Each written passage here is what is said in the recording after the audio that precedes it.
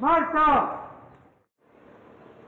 vino a resolver el problema principal y además que lo hace de una forma voluntaria. Sí, es muy bonito y además hay que tener un, una- un sentido de, de pertenencia, de ser trabajadora social, de, de ser humano, de, de sensibilidad para poder ayudar a estas personas, que es un grupo vulnerable que tiene la comunidad y es importante en eso ayudarlo.